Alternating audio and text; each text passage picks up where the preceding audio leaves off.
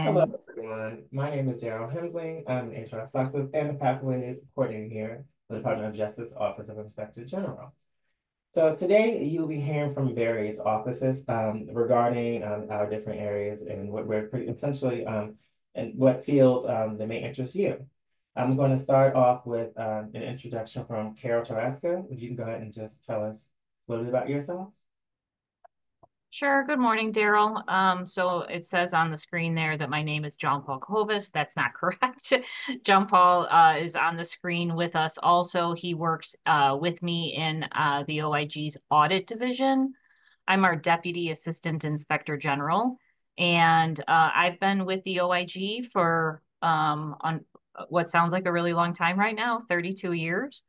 I came in as a, a, a recent graduate from uh, right out of college and have enjoyed li literally every minute that I've been here with the OIG and have promoted up through the system to be uh, what is now the number two in our audit division. The audit division is the largest division within the OIG. I don't know, Daryl, if you intended for me to give a whole background on the audit division, so I can spin back around just as we're doing uh, introductions. But I'm Carol, and it's nice to see everybody today. Awesome, thank you. Um, next up, Jesse Young. Morning, everybody. My name is Jesse Young, and I'm a management and program analyst in the management and planning division here at the OIG. Um, I have been here for about four years now, and I actually started as a Pathways intern. Um, and then once I graduated, converted to a permanent position here.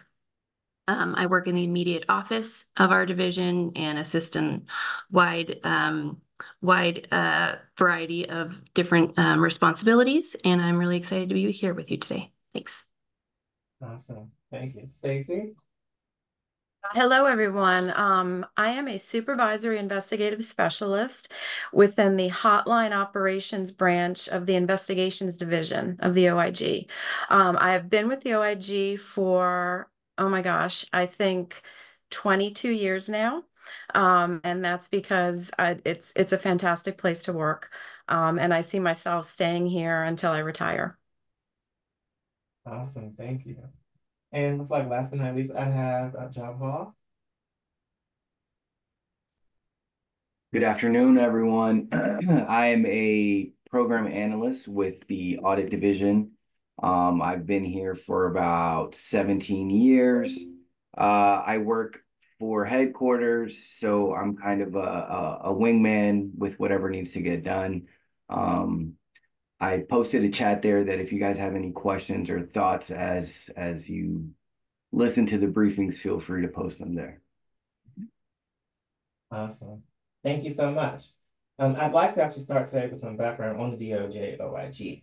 Uh, we are an independent entity of the Department of Justice whose mission is to detect and deter waste, fraud, abuse, and misconduct in the DOJ, and to promote economy excuse me, economy inefficiency in the department's operations. Our Inspector General, Michael Horowitz, is appointed by the president, subject to Senate confirmation and reports to the Attorney General and Congress. The OIG consists of the immediate office, Office of General Counsel, and six divisions. As you heard some um, noted here, Audit Division, uh, Investigations Division, Evaluation Division, um, Management and Planning, Information Technology Division. Um, the audit and the audit division and the evaluation inspections have representatives with us, as you guys have, uh, excuse me, the uh, audit division has someone with us right now. In a few months, I will turn it over to them so they can more so tell you, give them more in-depth background um, about what their attributes they're looking for in prospective employees. Um, but before I do that, I did want to say a few words about federal employment. Um, if you all do not have an account on USA Jobs, I would encourage you to definitely go on usajobs.gov and sign up. Um, we have a wealth of opportunities that are coming down the pipeline. Um, notably so, the audit division has an accounting and intern position, uh, budget, excuse me, intern position that's also live. It closes um, this week. And we also just announced um, a general and a general administrative and office support position, and that was announced today, and that will close on the 29th. So there are some opportunities that we have that, that are live right now. And I will um, share that link with you guys. Thank you so much, JP. Um, um, shortly at the conclusion of this presentation, and I will provide that, um, that information to Denise as well. Um, so also, um, I will now, um, as turn it over to, um, the divisions to give a little more in-depth, um, background. So I will start, with, Carol. Thanks, Daryl. And then mm-hmm. I'm looking at our pictures, Daryl, but just making sure we don't have anyone from our E and I division. Is that right? No, we do not. I thought we did, but yeah, they didn't show up. No, that's okay. I think, I'm sorry, I'm gonna like my light turned back on.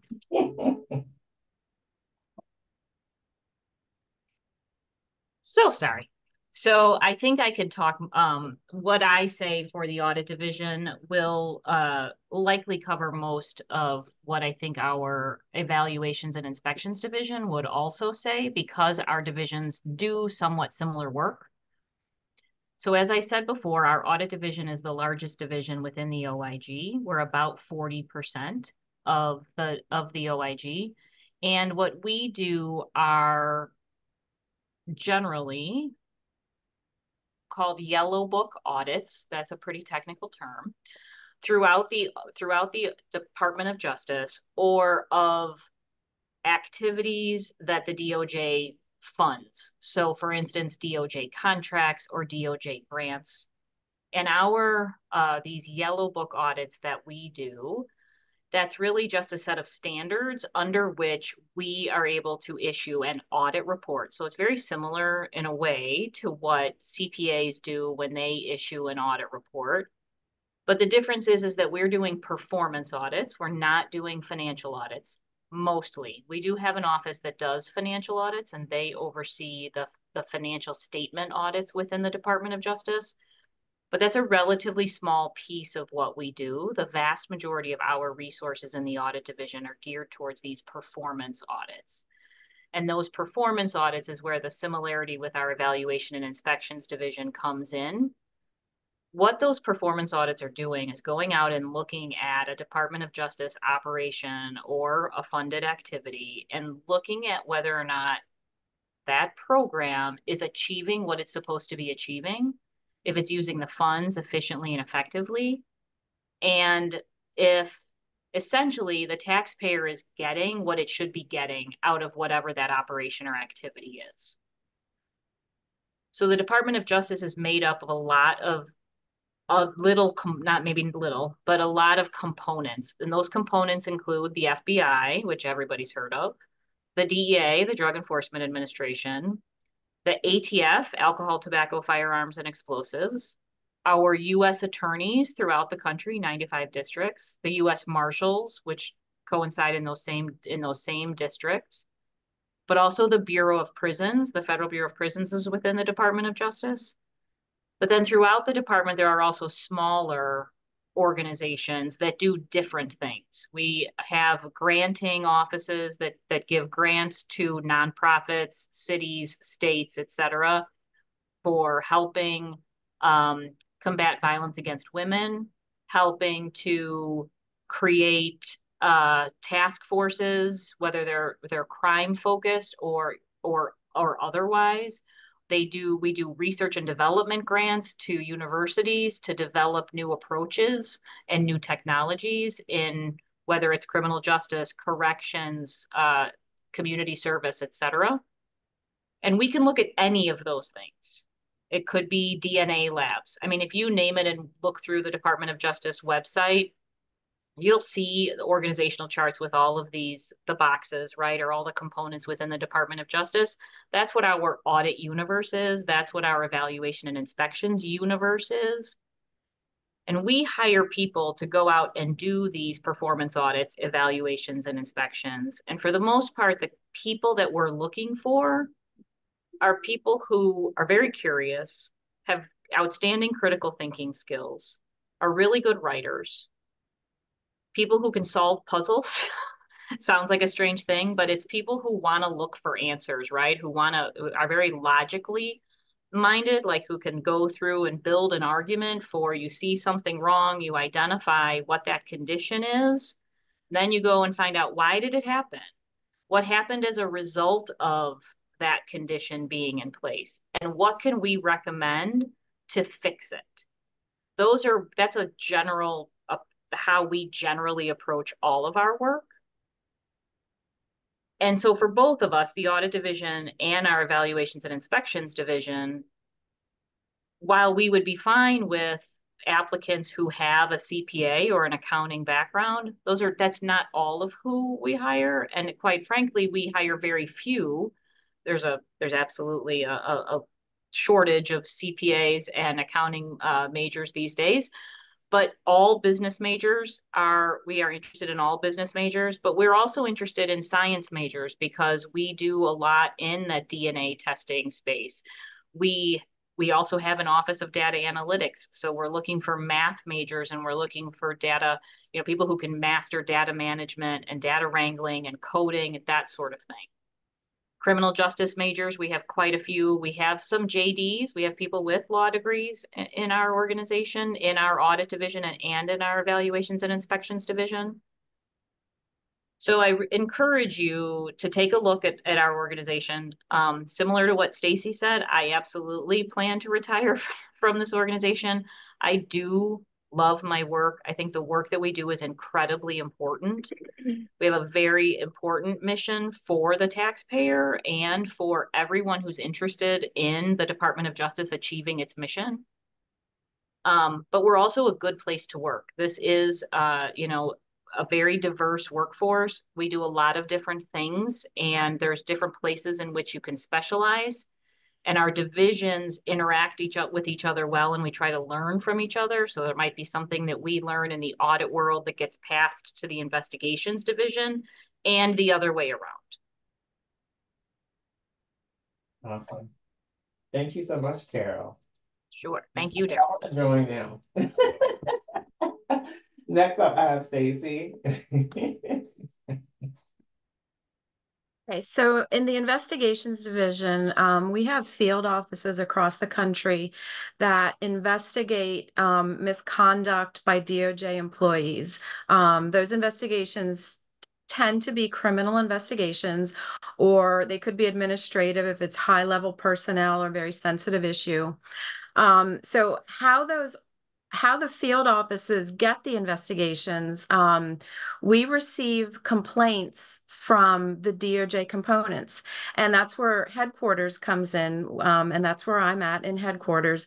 We receive the majority of complaints from DOJ components. And that, as Carol mentioned, that's FBI, DEA, ATF, um, U.S. attorneys, and the Bureau of Prisons um, folks in my group in Hotline Operations Branch, we we receive those complaints. Um, we enter them into our data management system, which means um, my staff is looking at those complaints and reading through them and figuring out the who, what, where, when, and why, and putting that into the system. And then those complaints go to um, special agents within headquarters of INV who assign a complaint disposition. And they determine if we're going to open an investigation um, or if we're going to refer that matter back to the components for them to investigate. Um, so so right now in investigations, um, we are looking to bring on two interns this fall. Um, our interns, um, they valuable, valuable services um, that they provide us. Um, they answer all our incoming phone calls and I think investigations division probably receives the most calls within the OIG because we have the hotline. So um, our interns are taking um, phone calls from citizens um, to DOJ employees to um, somebody, a congressional staffer, um, reporters calling to get information on something that we just posted on our website excuse me, I have a cat trying to climb on screen here. Um, so, so what we're looking for is very strong communication skills. You have no idea who's going to be on the other end of that phone call, and and we need you to um, respond very professionally, um, very calmly when you have someone calling who's who's irate, who thinks the FBI is stalking them or something. So, so it can be very challenging um, dealing with our phone calls. The other thing um, our interns do. Um, all the the hotline mail that comes in through our branch, our interns have to go through all of that mail mail complaints and determine what DOJ component um, that they're complaining about. And that may sound easy, but um, there are numerous DOJ components. Sometimes it's very obvious if there if it's an inmate complaining about the Bureau of Prisons. Sometimes it's not obvious, and um, there is a learning curve in learning all of the DOJ components and and getting up to speed to figure out what component this this um, complainant is complaining about. Um, so those are the two main functions that we have our interns do. Um, we we also, because there is such a steep learning curve, we encourage um, our interns to stay longer for a semester. Um, many of our interns stay for a few years um, until they graduate, um, and and when we can, we convert them into a full time position. And in my branch, those positions are investigative specialists.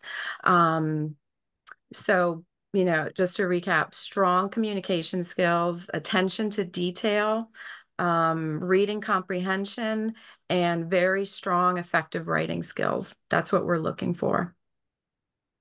Awesome. Thank you so much, Stacy. All right, last but not least, Jesse, can you tell us a little bit about MMP? Yes, of course. All right. So um, I work in the management and planning division, as I mentioned earlier, um, and we provide general mission support services for um, all of the divisions within the Office of the Inspector General. So, front like investigations, audit, evaluation, inspection, oversight, and review, all of the various divisions. Um, and within our division, we have um, Office of Human Resources, um, financial planning, we have our facilities, procurement, all, all of these different services are, are handled within our, our division. And so we cover, as I mentioned, a wide variety of different areas. Um, that personally is one of the things I've enjoyed about working in our division since starting here is the ability to collaborate across um, all divisions and really get a good feel for the functions um, that are um, carried out in each of the, the various divisions across the OIG. Um, we are looking for um, general administrative support interns who help across a wide array of responsibilities. Um, and that's everything from creating new websites for us to helping implement um, new programs um, such as um, one of the things I was able to help with as an intern was implementing our USA staffing onboarding module. And so, you know, anybody who's hired goes through this process. And so you you end up having a big impact across the board for everybody um, in the OIG and um, really getting to work on a lot of um, substantive projects. Um, you also get to assist on a wide array of different events that um, we hold, everything from um, award ceremonies to speaker series to um, all kinds of um, panels um, that that we hold and the support that we provide for the the um, offices hosting those types of events, um, as well as as I mentioned, the resource planning and budget, the financial management office, and um, facilities. And so management and planning, we are here in based in DC um, at headquarters, and um, we typically do look for um, interns who are local and can be on site because there is a component of that that's necessary um, coming into the office. But we do provide a lot of flexibility um, to um, uh, telework as well. So the the balance there is is definitely something um, that is a huge advantage.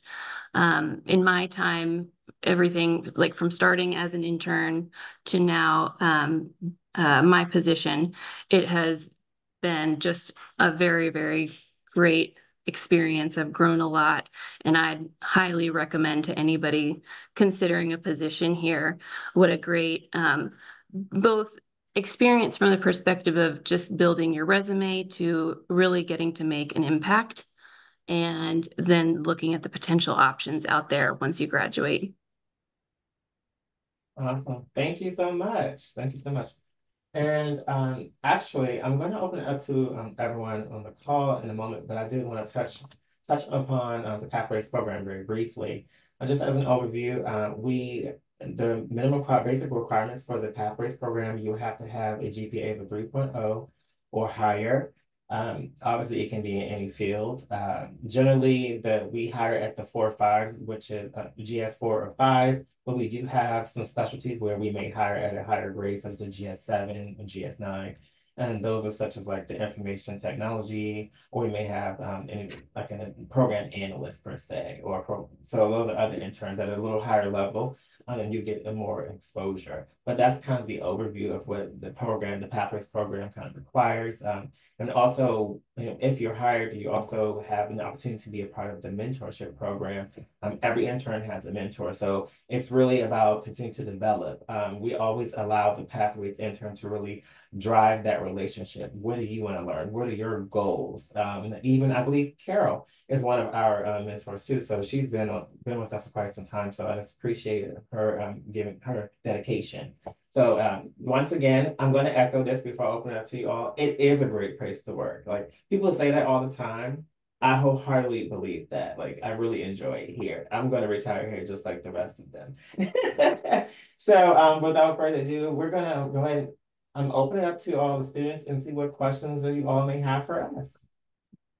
Fantastic. Thank you so much. I'm going to open it up if people either want to um, raise their hand or if they want to uh, put a question in the chat, this is your chance to ask any and all questions about the process, their programs, what makes a candidate stand out. I certainly could ask questions, but there is lots of people on today's call, so I'd rather have the time for all of you.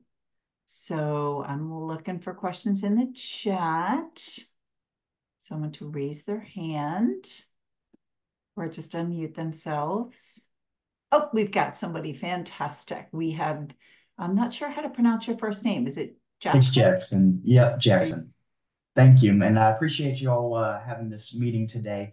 Uh, this question, I believe, is best could be directed to Stacy. Um, with the internship program that you all host, I believe in a prior USA Jobs listing, there was a uh, requirement that interns had to have familiar familiarity with um, uh, running a hotline do you know if that's going to be the case for uh, this upcoming internship application?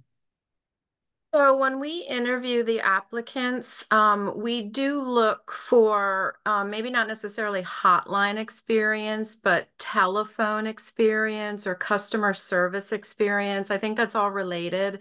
Um, our the a current intern I have, she worked on a, a hotline crisis phone. Um, another intern I have, she worked um, in retail um, and dealt with a lot of um, frustrated customers.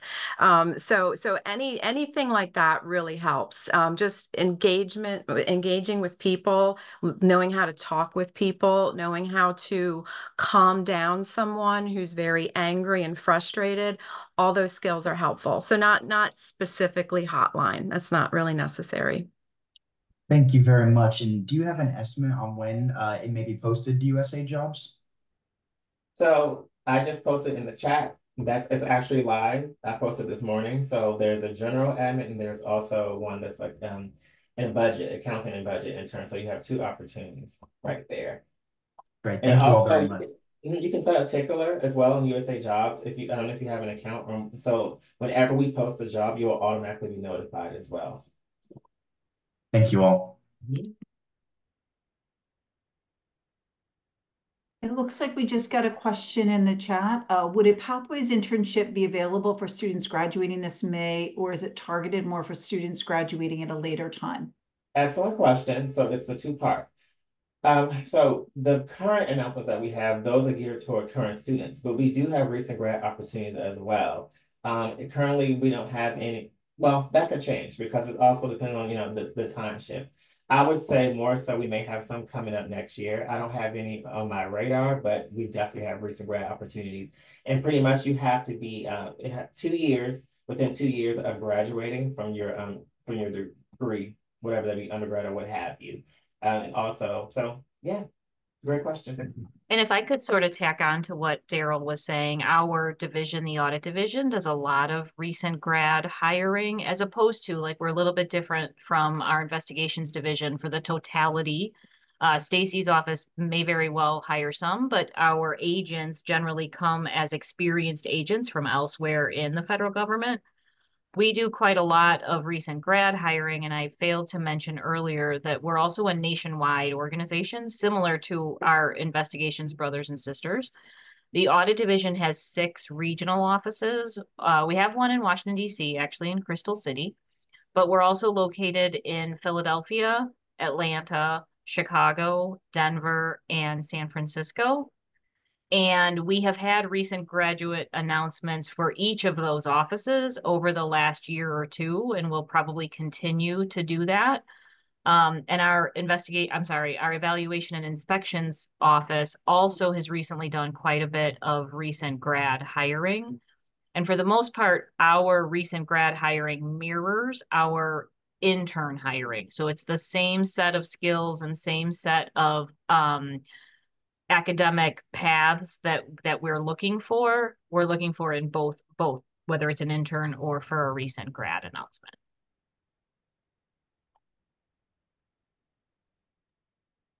What other questions?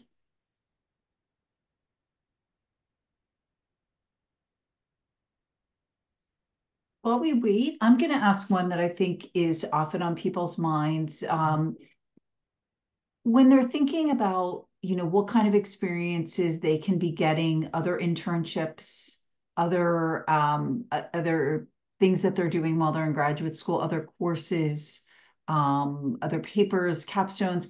What things, you know, you all get a lot of resumes. What makes somebody stand out that you you know, rise to the top to, you know, if, if they've made it into the best qualified list after going through USA Jobs, what makes somebody get pulled and grab your attention that they can be thinking about as students? I can try and field that one at least first, and and and certainly um, invite anybody else to come on top of of what what I offer.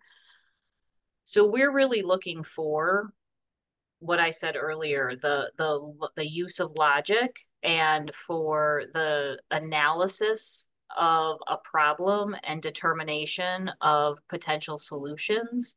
So things that you can offer that highlight those um, those activities or what contributes to it.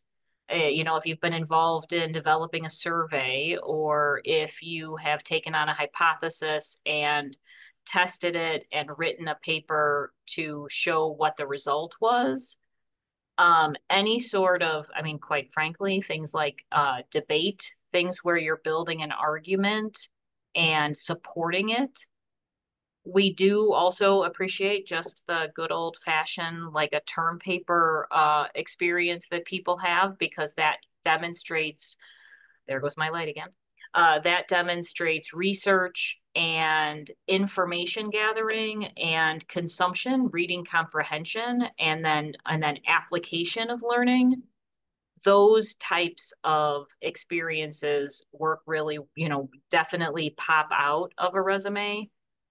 I would also strongly encourage anyone who goes through the USA Jobs um, platform to identify positions.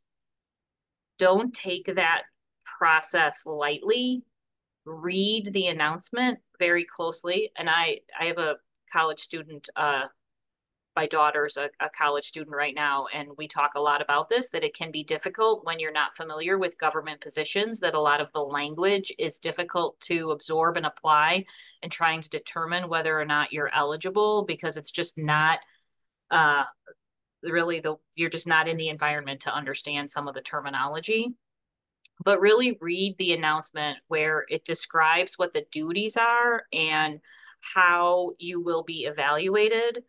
And and take a moment to think about those and apply them to what you've done and sort of find where each of those skills where each of those competencies that we identify what you have to highlight in your resume and then do that honestly, just doing that is a demonstration of a lot of the competency of reasoning and reading comprehension and presentation and briefing of, of information.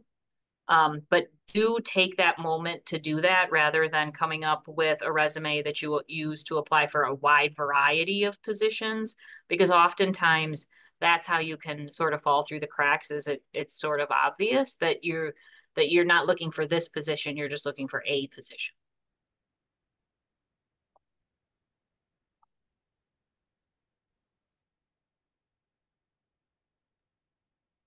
Questions. This is your chance to to ask them. Big questions, little questions. Yes, we see a hand raised, Mary.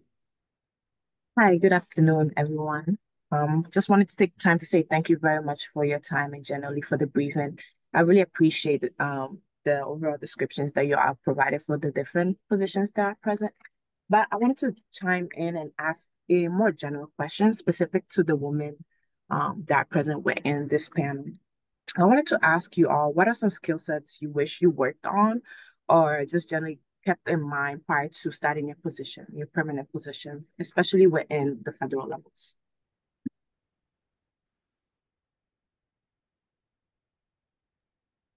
Jesse, you're much more um, recent to having started your position. Can we lean on you for that? I might have a little hard time uh, searching back that far in my memory bank. Sure. Yeah. I mean, so kind of, I'll echo what you said about um, any experience you get with like things like debate team that's strengthening your ability to present, you know, gather information, compile it, and then present it in a um, in a well organized way and and really um, I guess you know part of what goes along with that is the confidence to um, speak up and have your voice be heard.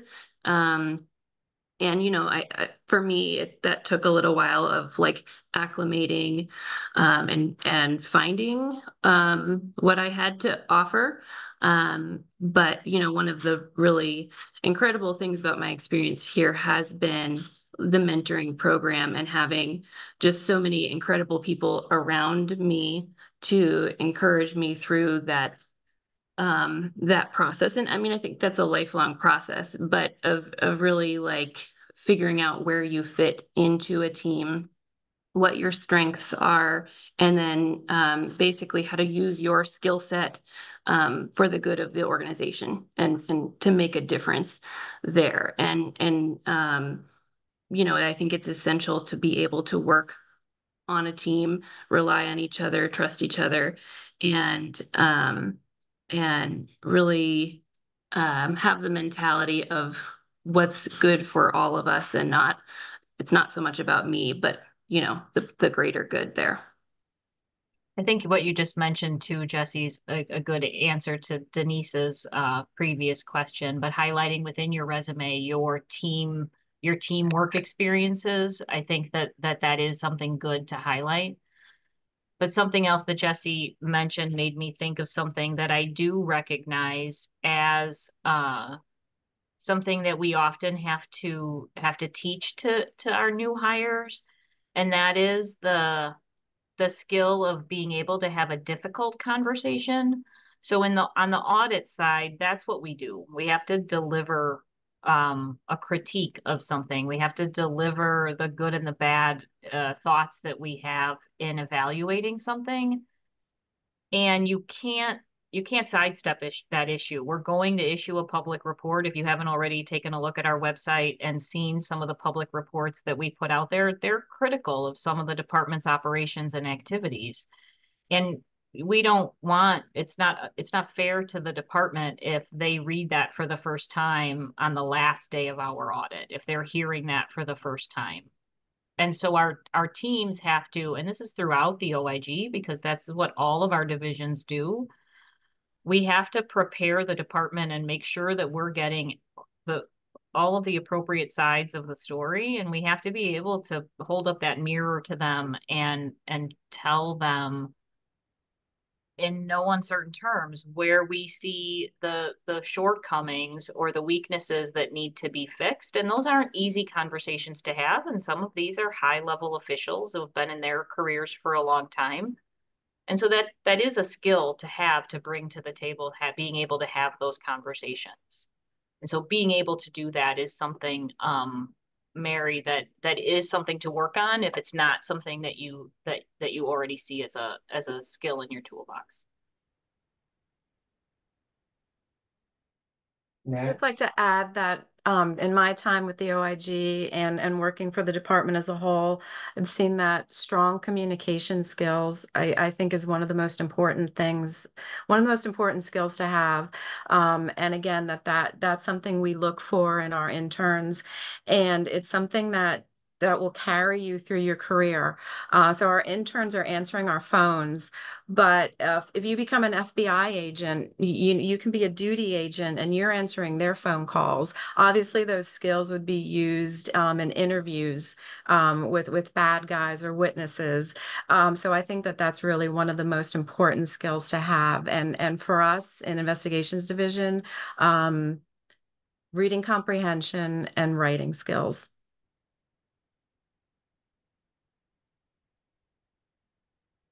It looks like uh, Nate has his hand raised. Hi, yeah, thanks. Uh, so I'm I find a little bit older than some of my fellow students. Uh, just quit my job and so I could come back to grad school. And I'm thinking about uh, internships as an opportunity to gain maybe more relevant experience in a specific field. But I'm also thinking, on the other hand, uh, about uh, maybe not wanting to take opportunities away from undergrads coming out of college and maybe not want maybe thinking that this isn't that I'm not the target audience. And I guess I'm wondering in a general way, no pressure, what you think about uh, people with more years behind them uh, looking for internships. And you tell me if that's a loaded question. You know, I I can actually speak to that. I um, started my internship um, I think I was um, about 34 years old. And so definitely older than, you know, um, a lot of the other um, interns I started with at the time.